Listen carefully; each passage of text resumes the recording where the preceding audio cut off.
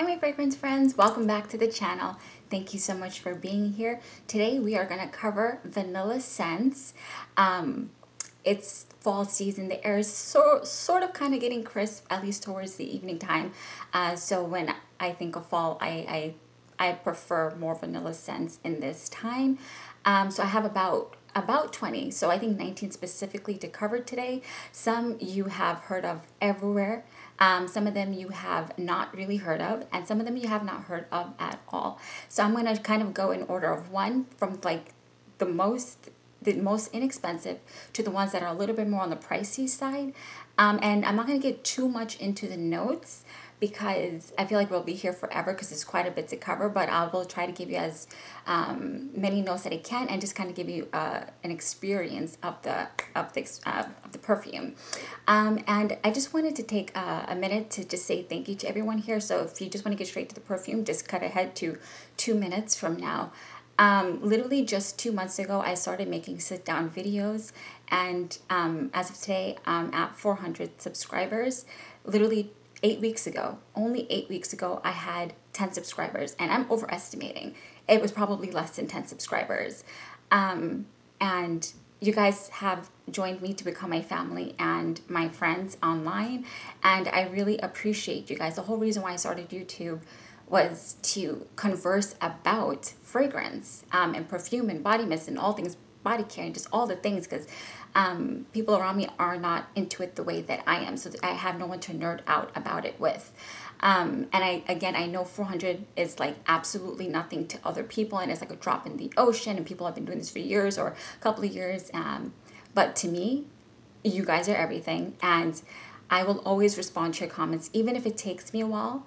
I will always respond to you. There are still a couple of comments that are pending because I don't just want to respond with an emoji emote icon and then not put any thought into. So like when I respond to you, I want it to be genuine and I want it to be an authentic response and a real response. Like I literally want to engage with each of you. And like even when you guys correct me, like um, Victoria Galvin, I love her. Like she corrects me when I'm obviously saying something that's inaccurate or if I'm a little unsure because she does it so nicely. And another one of um, my friends here on YouTube was kind enough to point out in like one of my earlier videos that like I seemed disappointed in that video. And she was right. My vibe was off because I was disappointed. And you know, we, guys, we're humans. We're, we're going to have fluctuating emotions um, and vibes in videos because we are human. Anybody behind a camera, it's not easy getting behind it, whether or not I'm, I'm showing my head. And just a reminder, the reason why my head is not on camera is for the protection and the privacy of my career. Uh, so I just wanted to say thank you. Um, I see all of you, um, especially my friend, uh, my friends out in Saudi Arabia. Marhaba, kifak ya habibi. I see you. Um, my friends in Brazil also, in Germany, and my friends in Philippines. Oh my gosh, hello, hello, salamat. Um, yeah, so I just wanted to just take a moment to acknowledge that literally it's only been two months. I was making shorts prior to that, but like it was so inconsistent and nobody was watching it. And um, yeah, so literally eight weeks ago, I was at maybe 10 subscribers and I'm overestimating here. And now I'm at 400 and probably someone's going to unsubscribe after this, but it's okay. Like literally you do you. Like, listen, it's a free world. Do what makes you happy. But I just wanted to say everybody who took the time to click that button and took the time to listen to me, took the time to comment with me. I, I really don't think you guys quite understand how much it means to me. So I just wanted to stop and say thank you. All right, with that, we're just gonna hop right in. Okay, so first I wanted to do an honorable mention. So in my one of my perfume videos, um, I think my perfume view perfume review of the month, I think two months back, um, I had mentioned Victoria's Secret Bare. So this honorable mention here, this is one of the newer releases from, well, it's not so new now, but from Victoria's Secret. Um, and there is, I'm obsessed with this fragrance. I already have a backup already. Um, there is, let's see, so there's mandarin, there is violet and sandalwood listed in here. But I noted like there, there smells like there is a vanilla note in here. And then this weekend I was watching, um, Veronica says, she's not going to see this, there's no way she'd watch this, but, um, and she had mentioned the same thing I mentioned. I was like, oh my God. Because at first second, I thought I was crazy because I hadn't heard anyone else mention that there's a vanilla note in here. Least my nose and my brain is picking it up. And she had mentioned it too. And I'm like, oh, great. You know, we're not crazy. Two people cannot be crazy. Um, so yeah, so I just wanted to put that as an honorable mention, Victoria's Secret Bare. Even though there is no vanilla note listed in here, I still wanted to mention it as an honorable mention. Okay, and the next one I wanted to mention for vanilla fragrance, which again does not get any love, um, is or much love, excuse me, um, is Elizabeth and James Nirvana Black. Um, I've repurchased this over the years. This is a dry sandalwood vanilla fragrance. So there's sandalwood, but it's a dry sandalwood. Um, so like this one has like a creamy base sandalwood. This is a dry sandalwood. This has violet as well. And this has vanilla. So this is more of a woody, more a dry vanilla for those who do not like gourmand scents. But the problem is with this, as amazing as it does, as amazing as it smells, it does not last long. So what I like to do, I like to pair um, Victoria's Secret Bare with um, Elizabeth and James Black. So you have the dry sandalwood and then you have the creamy sandalwood and you mix them together and it helps that lasting power and it just takes it to the next level. Okay, so, ooh, and also I will list everything down below as well. Give me one second. Okay yeah, so I will list everything down below. Okay, moving right along. Uh, we have Jessica Simpson here. We have Signature. So this was released, I think, about 10 years ago, and I've been going on and on about this since the beginning of my channel. And there's multiple things in here. There's apricot, there's clementine, there's, let's see, there, oh, white chocolate note, and there's also vanilla. And when you first smell this, you get that white chocolate and you get that vanilla. It's sweet, it is feminine, and it lasts on my skin. Um, I was reading reviews on Fragrantica that this is not last. Um, they can't smell it. I would beg to differ because it lasts on my skin and I get compliments with this. Uh, so yeah, I have not seen this on any vanilla list and I first of all, nobody on YouTube prior to me had mentioned this, and there's only one other person that mentioned it after me. Um, and this does not get any love on any vanilla list. It's just one of those underrated gems. Not underrated, like if you know about it, you know about it, but like nobody on YouTube talked about it. So this is a beautiful white chocolate vanilla fragrance with that beautiful apricot. And if you like um, Twilight Woods from Bath and Body Works, you are going to like um, Jessica Simpson's signature. Cause, but just take Twilight um, add a little vanilla in it and add you know uh, white chocolate and you get something similar it's very similar backbone so yeah jessica simpson signature um, the next one up we have um, jimmy choo fever uh, this is a beautiful fragrance it was made by Honorine Blanc. Um, that was the reason why I had purchased it in the first place. Um, so there is lychee in here, there is coffee, um, and there is also vanilla. And vanilla is one of the first things you smell along with the lychee when you first smell it. And again, you know, this I think is labeled as a floral gourmand, but there's also super heavy on the vanilla. Like you get smacked in that face or caressed in the face because this does not smack you. It's not like sharp or anything um, you get caressed in the face with that vanilla when you wear it. And I absolutely am in love with this fragrance. Um, and I came up with something today and I put it on my shorts is to mix these two together because this is a nice beautiful vanilla sweet fragrance and this is a beautiful nice vanilla sweet fragrance and adding them together just makes this explosion of sweet feminine oh my gosh, like you have to almost, it's not like I want to eat you kind of gourmand, but you're so sweet that you kind of want to bite yourself, you know? Um, so you put um, Jimmy Choo Fever on the bottom because this one will overtake the Jessica Simpson. So put this one on it because that coffee note kind of makes it a little bit denser and then go in with Jessica Simpson's signature on the top and just oh my god, just absolute heaven to mix those two together. Okay, moving right along, I just wanted to do, I mean, I'm not going to spend any time on this. This is Kayali Vanilla 28. I mean, this one literally almost needs no introduction, but I will because, you know, there's always new people coming into the fragrance world that may not have heard of it. Um, Mona Kattan made this fragrance. Um, there is orchid in here. Um, there's brown sugar and there's vanilla. This is a beautiful absolutely stunning vanilla scent. It does make my nose itch a little bit when I first spray it, but it goes away almost immediately. It's really not a big deal because it's totally worth that slight itch in my nose for the amazingness that this is. Um, so honorable mention, it's all over YouTube, um, and for good reason. It's Kayali Vanilla 28. All right, this is one you very likely have not heard of. And definitely you have not heard of it on any vanilla list. And I'm about to put you on. This is an inexpensive, beautiful fragrance. So this is, um, I'm not sure if this is an American brand. Yeah, it's from France. Um, it's called Mademoiselle Twist by Mauboussin. And this opens with vanilla and orange. I think orange flower and this I think it's orange blossom. I think there may be neroli in here too, but neroli typically does not sit well with me, and orange blossom is a hit or miss with me. But this one, oh my god. Okay, so I don't know how to describe this.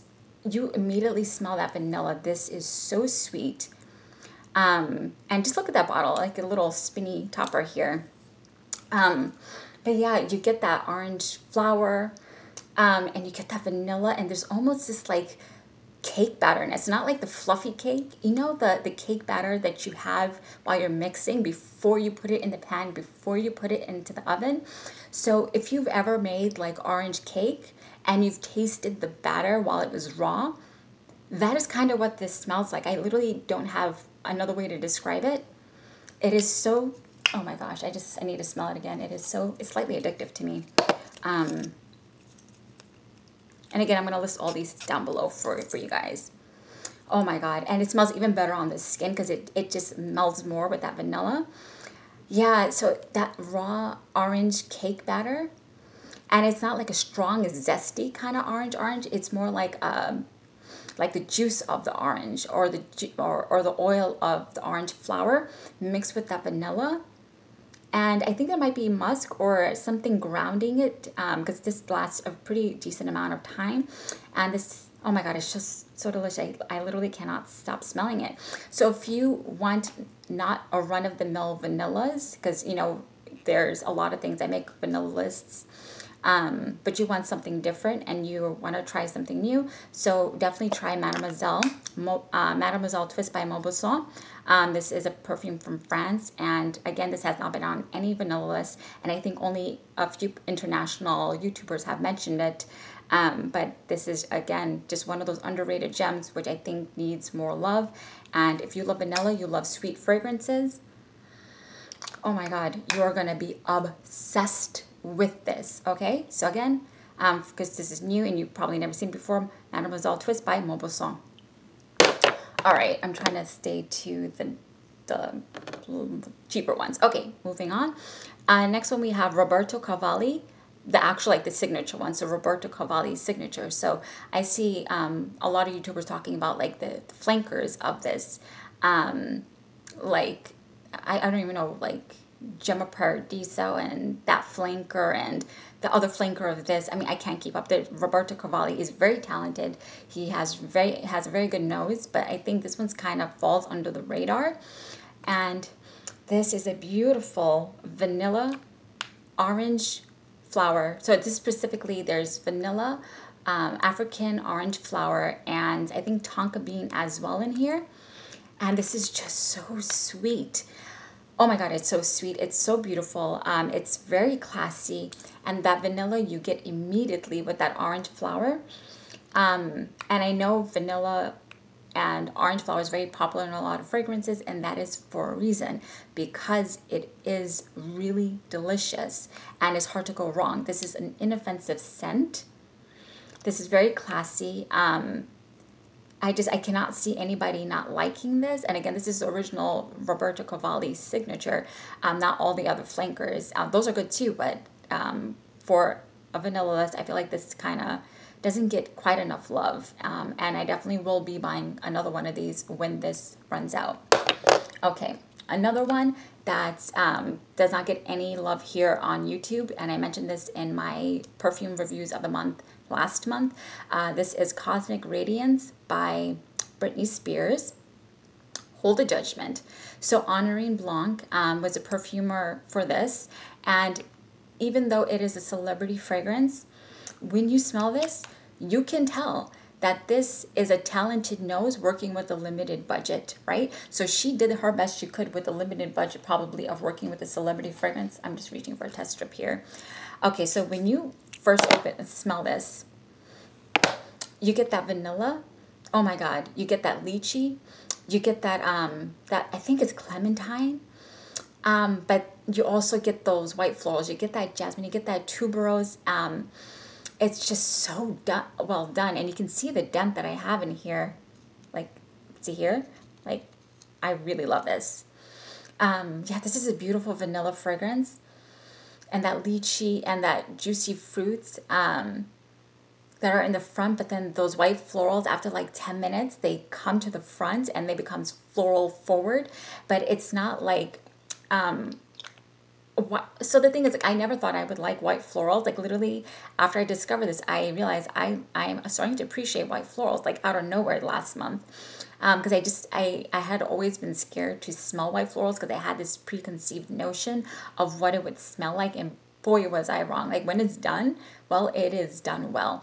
And again, Honorine Blanc, you could tell she's a talented nose, right? Even though this is a celebrity fragrance, she worked magic with this and i don't know why this doesn't get love again it's a celebrity fragrance yeah sure it's not a strong projector but for me it lasts at least four hours on my skin and people in my intimate space i'm a shorty so like within my arm space will smell me um, and that gardenia is so nice. Oh, that was the note that scared me. It was gardenia, right? Anything with gardenia scares me, but like it's just so well blended and there's this creaminess to it. It's like a creamy, um, I guess that's from the white florals.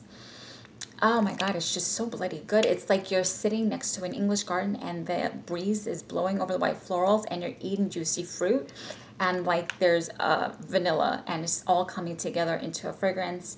Um, so again, this is Britney Spears uh, Cosmic Radiance. Um, and again, I will list everything down below. I just, I love this. I absolutely love this.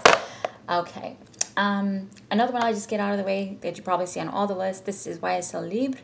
Um, I also had the, the newer flanker YSL Libre Parfum all the way on my bed over there. I'm not going to run over there to go get it.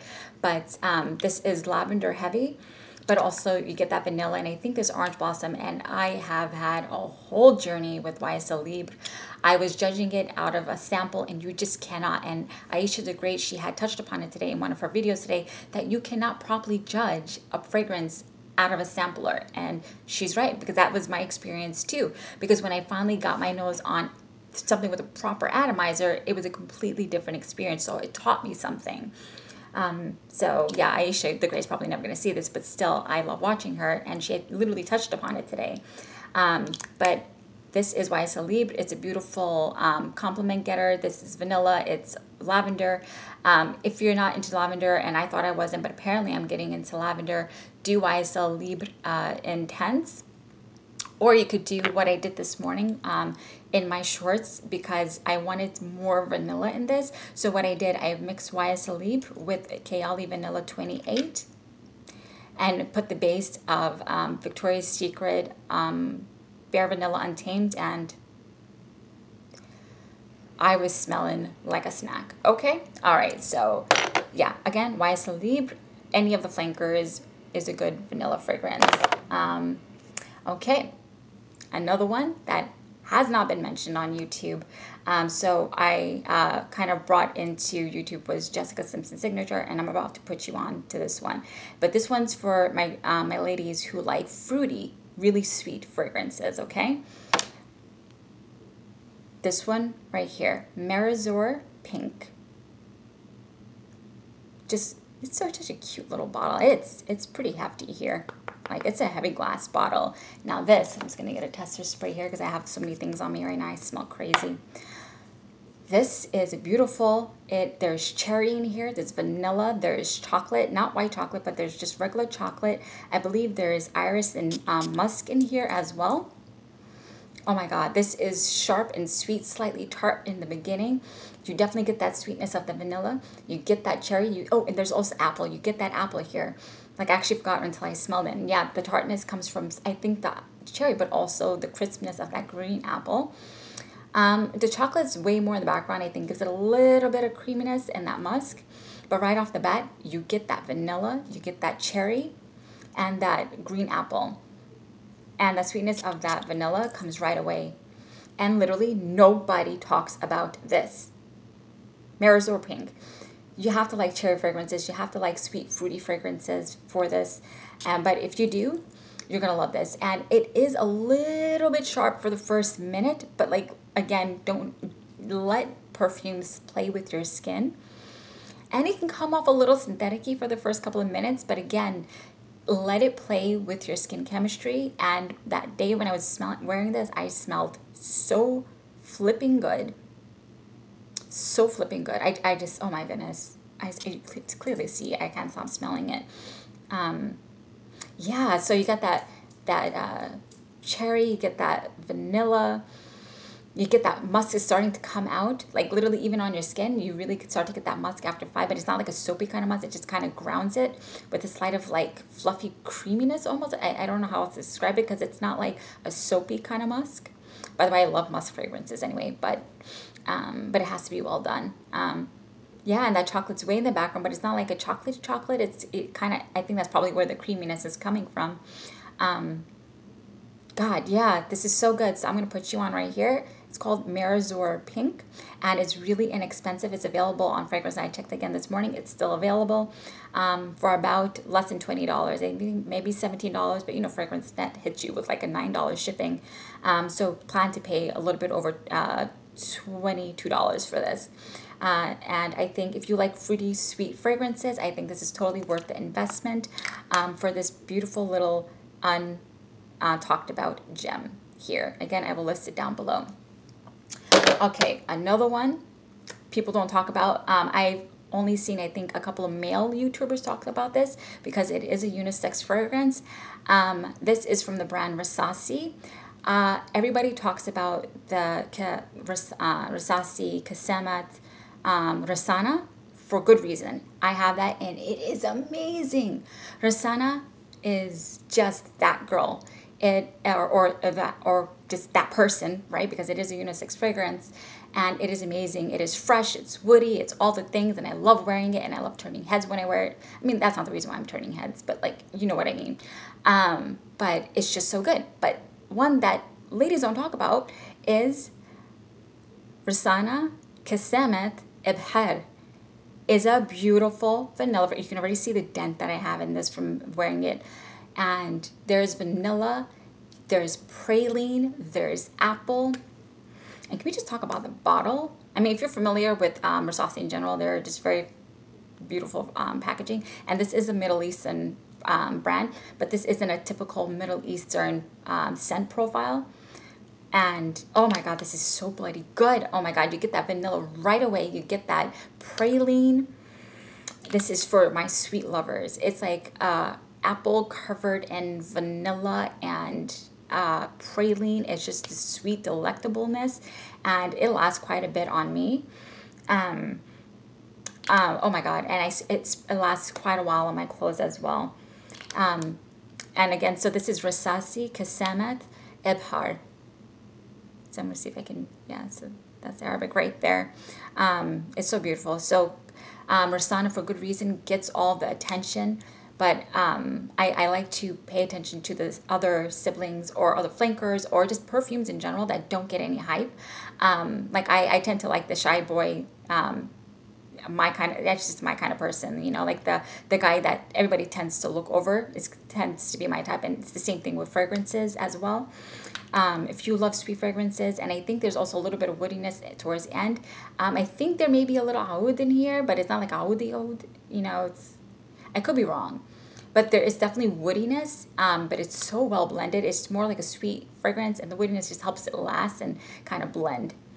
Okay, uh, yeah, so let me just move along because we're already um, past 20 minutes. Yeah, so Rasasi Qasamat Ebhar is a beautiful vanilla uh, praline apple fragrance, which I really needs some love, and this is a unisex fragrance.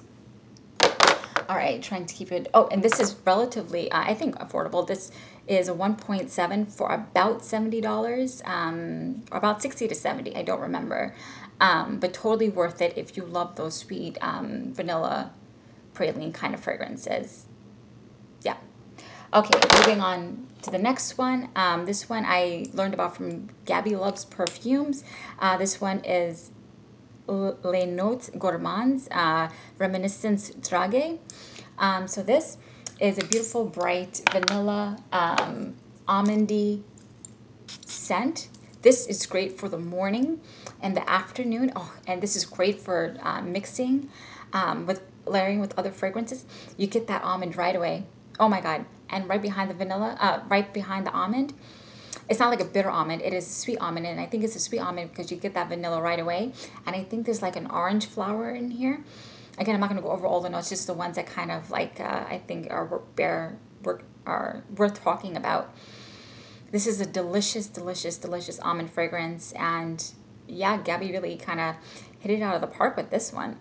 And it is affordable. Gosh, I, I, think it's below $60 or below $50. It is inexpensive um, and very much readily available, I think, on FragranceNet. Um, and I definitely recommend if you like almondy scents, if you want to layer your fragrances with almond, this would be a great layering and it's also great on its own. It's not the longest lasting one but again that's what layering is for layering with other perfumes and this this will oh it's so bright it's so like cheerful. Um yeah this is just bright and cheerful. This is great for the morning and the afternoon and if you want to wear it in the evening i would recommend pairing it with something a little bit deeper. Oh uh, again so this is Dragee Reminiscence and i will list it down below. Um, okay so now let me finish up the cheaper ones here Okay, so this is another one that doesn't get any love. Uh, generally, I think Victoria's Secret perfumes sometimes get a bad rap. Uh, this is a discontinued fragrance, but it's still very much readily available. This is Victoria's Secret Bombshell Gold. And I just, I love the packaging. Just so cute. Um, this is a stunner. This, um, I also checked this morning, it's still available. Um, by resellers. I think about 60 to $70, um, typical price you would pay for a Victoria's Secret perfume.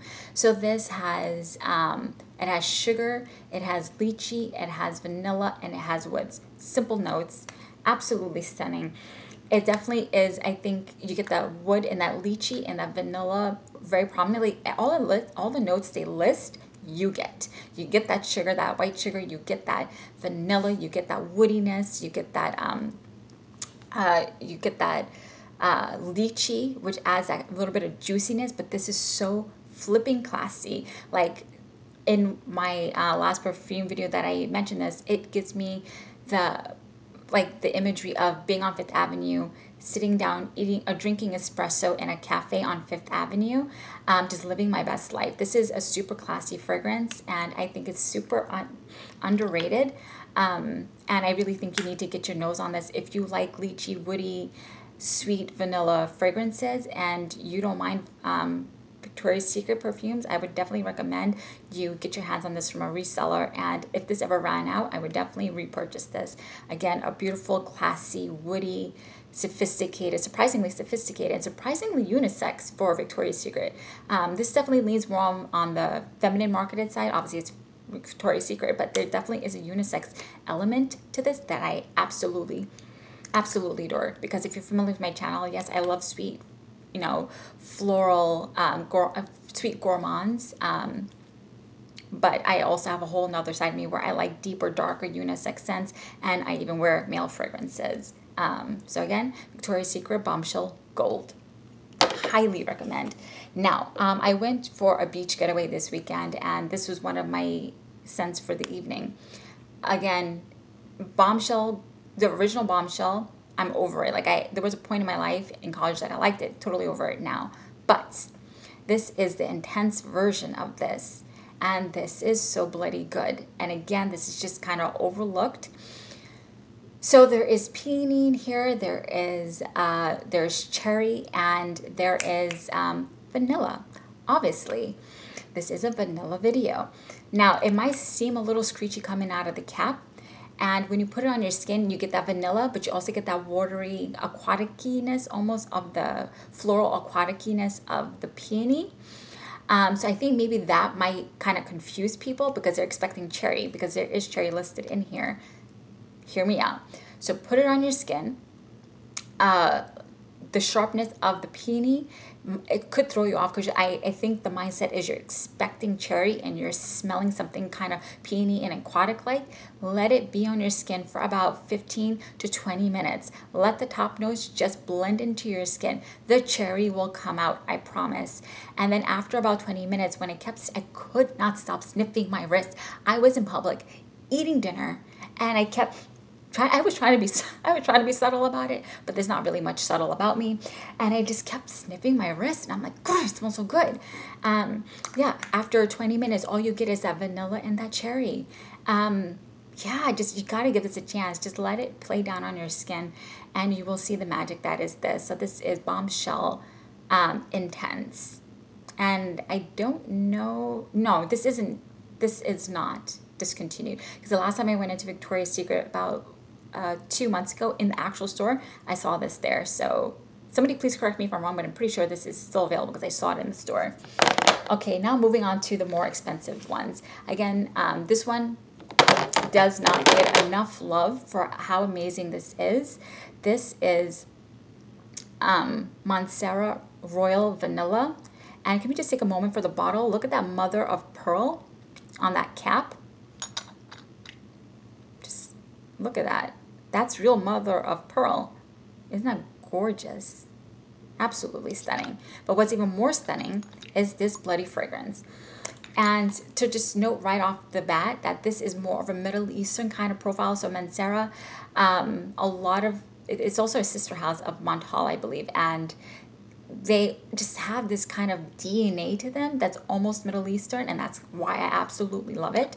Um, so this there is an element of this. I think there's amber in here as well, and I don't remember all the notes, but like I just get that sweet, and I believe there's amber in here, and it's like a beautiful, gently Middle Eastern, like vanilla, and the sound of it, royal vanilla, that is the most accurate description of a name I have ever seen.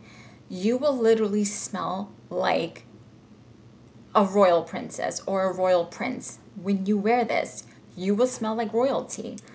And I literally had somebody come out of a gas station just to tell me how good I smelled um, when I was filling gas. And that day, I was wearing this Royal Vanilla. So this is definitely a compliment getter. This is strong. If you're familiar with Mancera um, DNAs and their performances, their beast mode fragrances, this is no exception.